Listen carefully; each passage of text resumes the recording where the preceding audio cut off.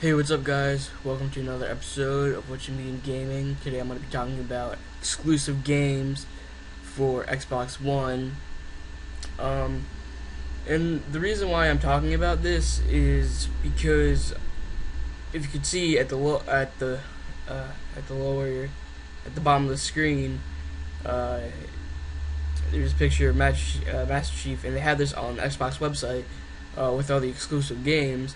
And if you can see right there, it says Halo for Xbox One, and then under it says exclusively on Xbox One. And when I saw this, I got really, really pissed because uh, X uh? Microsoft uh, is releasing a new Xbox, Xbox One, of course, and they're still supporting Xbox 360.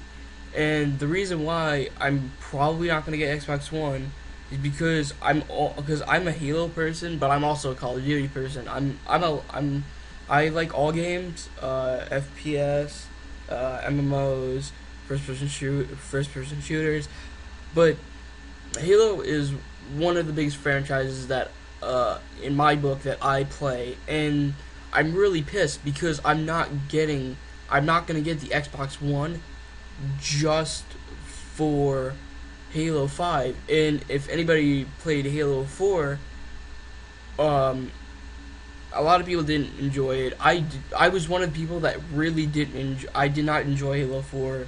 The system was horrible. The way the, that they that they had the outline of the multiplayer was just god awful. The only thing I'm ex- excited for is for the Champion Bundle DLC, which is only 800 Microsoft points. That's the only thing that I'm excited for for Halo uh, for Halo 4. I'm not getting and I'm not getting Xbox One just for this game. If it's gonna suck even more, in my opinion, I think Halo 5. If it's gonna go the way that Halo 4 went, I'm not talking about the story. The story was great. The multiplayer just sucked ass, and if it's gonna be it's gonna suck, if the multiplayer is gonna suck, I'm not getting Xbox One, and I'm not gonna get Xbox One uh, just for this franchise and just for other exclusive games that Xbox 360 is not gonna be able to have. And the only reason I'm gonna be keeping uh, the Xbox 360 is for Payday 2, and some probably and for Call of Duty Ghost and machinima reasons. That's really just it. But I just can't depend on one game for me to buy a five hundred dollar fucking exclusive uh, console, and I'm I'm not doing that shit. I'm not wasting my money on this franchise, and I know that's what Microsoft wants to do because they're assholes, and that's what they're good at, and they don't care about the consumer at all. So I'm just gonna stick to 360, and you know, if it only has seven more years, fuck that. Then I'll stop being a gamer on Xbox. I'll go to PC. Uh, I, I just can't take this bullshit anymore. You know, until they lower the prices of games and consoles, I'm not buying fucking Xbox One or any, you know, any other game. But I, I'm still gonna get games for the Xbox 360.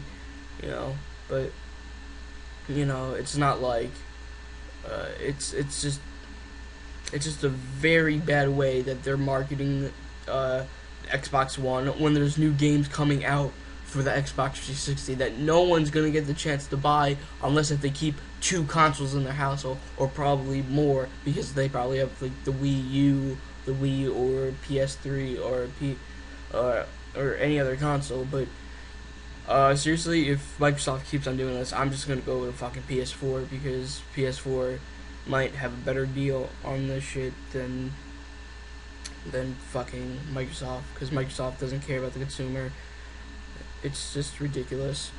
So yeah, I'm gonna end it here. I uh, hope you guys enjoyed. Uh, if you have any questions, please leave a comment. Uh, hope everybody has a nice day. Peace out.